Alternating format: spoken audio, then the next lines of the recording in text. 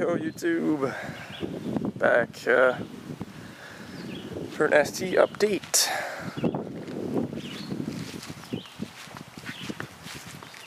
Couldn't take it anymore.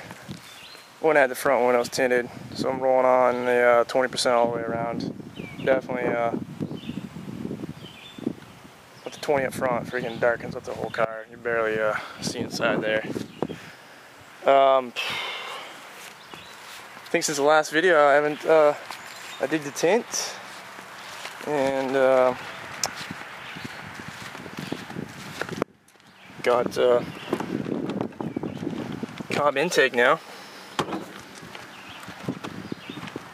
Got a good deal on that from Lethal Performance. Paid uh, 260 for the whole intake. And uh, I had already had the Cobb filter, so I sold a brand new filter. So I basically paid uh, 210 bucks for the uh, for the intake. You know, not too bad to install. Uh, was thinking about trading it in for a brand new uh, 2014 F-150, but you know I'm on the fence right now about that. More leaning towards keeping the uh, the um, Focus. You know, I was thinking about getting a truck because you know now I have a four wheeler and just I do like the new F-150s too.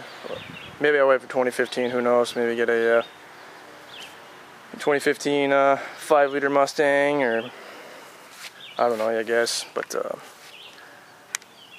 all right. I'll see you later.